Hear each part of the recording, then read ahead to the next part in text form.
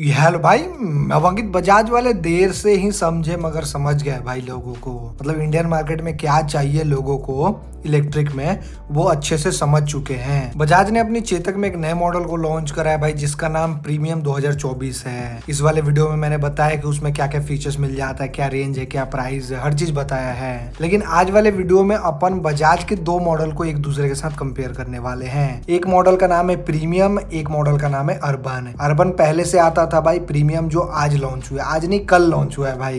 दोनों वेरिएंट में लगभग कह सकते हो बीस हज़ार चार सौ तिरसठ रुपए का एक्स शोरूम प्राइस में डिफरेंस है। तो ये बीस हज़ार चार सौ तिरसठ रुपए आपको ज़्यादा दे के प्रीमियम लेना चाहिए या फिर बचा के अर्बन लेना चाहिए, वो आज आपको डिटेल में पता चल जाएगा। मज़ा भरपूर आने वाला है। एक एक चीज़ डिटेल में कंपेयर करेंगे। वीडियो को स्किप मत करना है एंड तक देखना। हमेशा की तरह सबसे पहले वेरिएंट और कलर ऑप्शंस कंपेयर कर लेते हैं भाई। तो देखो, चेतक अगर आप प्रीमियम लेते हो, जो आज लॉन्च हुआ है आज बोल रहा हूँ बार बार कल जो लॉन्च हुआ है भाई, उसमें दो वेरियंट इन्होंने लॉन्च करा है। एक स्टैंडर्ड एक टिक पैक है। ठीक उसी प्रकार जो चेतक में पुराना मॉडल आया करता था अर्बन के नाम से, उसमें भी दो ही वेरिएंट है स्टैंडर्ड और टेक पैक इसके अलावा कलर ऑप्शन की बात करती हूँ तो प्रीमियम वाले में तीन कलर ऑप्शन मिलेगा, लेकिन अर्बन वाले में चार कलर ऑप्शन मिलता है। तो एक कलर अर्बन वाले में ज़्यादा है भाई, जिसका प्राइस कम है, उसमें एक कलर ऑप्शन ज़्यादा दे रखा है। वाह बजाज, वाह। अब भाई लुक और डिज़ाइन कंपेयर कर लेते हैं दोनों मॉडल का। देखो, आप फ्रंट से देखो भाई, कुछ डिफरेंस नहीं है यार। कोई एक झलक में देखेगा ना, उसको समझ भी नहीं आएगा कि कौन सा अर्बन है, कौन सा प्रीमियम है। लेकिन मैं आपको बता देता हूँ लेफ़्ट वाला प्रीमियम है और राइट वाला अर्बन है। थोड़ा सा डिफरेंट फ्रंट में ही है भाई, जैसे आप हेडलाइट के ऊपर ध्यान से देखोगे ना, ये जो छल्ला दे रखा है ना प्रीमियम वाले में मैट कलर में दे रखा है। लेकिन ये जो अर्बन है, इसमें क्रोम कलर का दे रखा है। यही बस डिफरेंट है भाई। मतलब देखो, मैं आपको समझाता हूँ अच्छे से। जो क्रोम पार्ट अर्बन में है, वो मैट में दे रखा है। प्रीमियम में। बस यही डिफरेंस है। साइड से देखो, वही कहानी है। रियर से देखो, वही कहानी एक और साइड से देख लो, वही कहानी है। लुक और डिज़ाइन में बिल्कुल भी चेंजेस नहीं है भाई। बस क्रोम की जगह इन्होंने मैट कर दिया है। खैर, अब बात कर लेते हैं दोनों गाड़ियों के मोटर के बारे में। दोनों में बिल्कुल ही सेमी मोटर दिया गया है भाई, जिसको बीएलडीसी मोटर आप कह सकते हो, जो आपको मैक्सिमम बयालीस सौ वोट का पावर निकाल के देगा और बीस एन का टॉर्क निकाल के देगा। मतलब गाड़ी का इनिशियल बहुत ही तगड़ा है। बाकी रही बात बैटरी पैक की तो बैटरी पैक में डिफरेंस है भाई। अगर आप प्रीमियम वाला लेते हो तो उसमें थ्री पॉइंट टू का बैटरी मिलता है, लेकिन अगर आप अर्बन लेते हो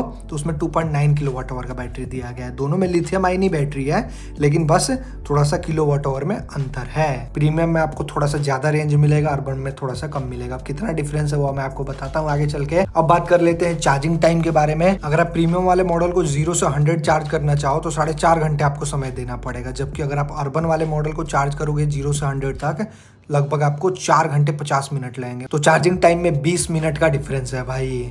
अब रेंज की बात कर लेते हैं तो प्रीमियम वाला मॉडल आपको 127 किलोमीटर का रेंज देगा। कंपनी क्लेम कर रही है भाई। लेकिन अर्बन वाला मॉडल आपको 113 किलोमीटर का रेंज देगा पर चार्ज तो आप देख सकते हो कितना डिफरेंस है। तेरह, दस, तेईस है। मतलब भाई, चौदह किलोमीटर का डिफरेंस है, ज़्यादा डिफरेंस इसको नहीं बोलेंगे। अब थोड़ा टॉप स्पीड की बात कर लेते हैं। प्रीमियम वाला मॉडल में अगर आप स्टैंडर्ड लेते हो या फिर टेक पैक लेते हो, दोनों में आपको सेवेंटी थ्री के का टॉप स्पीड मिल जाएगा। लेकिन अगर आप अर्बन में स्टैंडर्ड लेते हो तो उसमें तिरसठ के एमपीएच तक टॉप स्पीड मिलेगा। अगर आप टेक पैक वाला मॉडल लेते हो, तब जाके आपको सेवेंटी थ्री का टॉप स्पीड मिलेगा। तो यहाँ पे बजाज थोड़ा सा खेल रहा है। बाकी रही बात सस्पेंशन की तो दोनों गाड़ियों के फ्रंट में सेमी सस्पेंशन दिया गया है। भाई फ्रंट में सिंगल साइडेड लीडिंग लिंक वाला सस्पेंशन दिया गया है, जो कि टेलीस्कोपिक से थोड़ा सा बढ़िया माना जाता है, लेकिन रियर में मोनोशॉक दे रखा है। तो दोनों में सस्पेंशन के मामले में कोई डिफरेंस नहीं है। रही बात टायर की तो टायर बिल्कुल ही सेम ही है भाई। बारह इंच का ट्यूबलेस टायर प्रोफ़ाइल की बात करें तो 90 बाई 90 ट्वेल्व फ्रंट में 90 बाई 100 ट्वेल्व रियर में। ब्रेक्स की बात करते हो तो ब्रेक्स में डिफरेंट है भाई। दोनों में सीबीएस का ही ब्रेकिंग सिस्टम मिलता है कॉम्बी ब्रेकिंग सिस्टम लेकिन हाँ अगर आप प्रीमियम वाला लेते हो तो फ्रंट में आपको डिस्क ब्रेक मिलेगा, लेकिन रियर में ड्रम ब्रेक मिलेगा।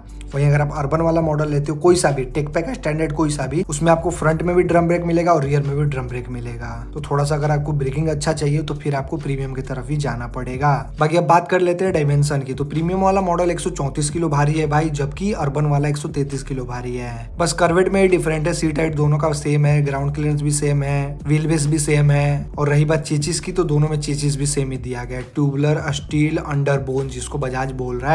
अब थोड़ा लगे फीचर्स कंपेयर कर लेते हैं। भाई देखते हैं, दोनों मॉडल के प्राइस में बीस से इक्कीस हज़ार रुपये का डिफरेंट है ना। तो फीचर्स में कितना डिफरेंस आता है? देखो, दोनों गाड़ियों के फ्रंट में एलईडी हेडलाइट दिया गया है टेल लाइट एलईडी है भाई। इंडिकेटर भी आपको एलईडी मिलता है। और हाँ दोनों गाड़ी में आपको डीआरएल मिल जाता है, जो काफ़ी अच्छी बात है। मेन पता है आपको क्या डिफरेंस मिलता है? मीटर कंसोल में ही। अगर आप प्रीमियम लेते हो तो ऐसे टाइप का मेटर कंसोल मिल जाता है जो कि टच स्क्रीन नहीं है भाई, लेकिन उसमें भतीरों फीचर्स मिल जाता है। टर्न बाई टर्न नेविगेशन वगैरह कॉल्स मैसेजेस हर चीज़ का आपको अपडेट मिल जाएगा। लेकिन वहीं अगर आप अर्बन लेती हो, कोई सा भी मॉडल स्टैंडर्ड या फिर टेक पैक उसमें आपको ऐसे टाइप का एलसीडी डिस्प्ले मिलेगा राउंड शेप का, जिसमें आपको कनेक्टिविटी फीचर्स मिल जाएगा टेक पैक वाले मॉडल में, लेकिन नॉर्मल में नहीं मिलेगा। लेकिन इसमें टर्न बाई टर्न नेविगेशन वगैरह नहीं दिया गया। तो ये चीज़ है। और हाँ एक कंडीशन तो बताना भूल ही गया। अगर आप प्रीमियम में भी स्टैंडर्ड मॉडल लोगे तो कुछ गिना चुना ही आपको मीटर कंसोल में फीचर्स मिलेगा। वहीं अगर आप टॉप मॉडल लेते हो टेक पैक वाला तो उसमें आपको पूरा डिजिटल मीटर का ऑपरेटिंग सिस्टम मिलेगा। मतलब पूरा आप ऑपरेट कर पाओगे। तो बजाज बहुत सही खेल रहा है भाई हम लोगों के साथ है। थोड़ा सा पैसा ज़्यादा दोगे तभी वो लोग फीचर्स दबा के देंगे। नहीं तो भाई फीचर्स लॉक रहेगा आपका। खैर, दोनों गाड़ियों में आपको हिल होल्ड सिस्टम मिल जाता है। दोनों में आपको दो दो मोड्स मिल जाता है। लेकिन हाँ मोड्स में भी कंडीशन है भाई। प्रीमियम वाले में अगर आप स्टैंडर्ड मॉडल लेते हो तो उसमें आपको इको मोड मिलेगा बस, लेकिन अगर आप टेक पैक लेते हो तो उसमें आपको इको स्पोर्ट दोनों मिल जाएगा। वहीं सेम अर्बन में भी कहानी है भाई। अगर आप स्टैंडर्ड लोगे तो इको मोड मिलेगा। अगर आप टेक पैक वाला लेते हो तो उसमें इको स्पोर्ट दोनों मिल जाएगा। बाकी दोनों में रिवर्स सिस्टम मिल जाता है यूएसबी चार्जिंग पोर्ट दोनों में दिया गया है। बूट स्पेस में डिफरेंट है भाई। प्रीमियम वाले में आपको 21 लीटर का बूट स्पेस मिलता है, जबकि अर्बन वाले में 18 लीटर का बूट स्पेस मिलता है। तो तीन लीटर का डिफरेंस है। बाकी दोनों में की फोब दिया गया, जिसको आप कीले सेंट्री भी बोल सकते हो। मतलब गाड़ी को लॉक अनलॉक कर सकते हो, लेकिन एंथीथिप अलार्म वगैरह नहीं मिलता। मतलब आजकल सस्ती सस्ती गाड़ियों में एंथीथिप अलार्म वगैरह मिल रहा है। इनको देने में क्या जा रहा था, मेरे तो समझ से बाहर है भाई। इतना पैसा ले रहे हैं, फिर भी एक छोटा सा फीचर्स नहीं दे रखा है। खैर, यहाँ पे मैंने आपको फीचर्स तो कंपेयर करके दिखलाई दिया भाई ऑलमोस्ट है और हाँ गाड़ी को भी कंपेयर कर दिया भाई।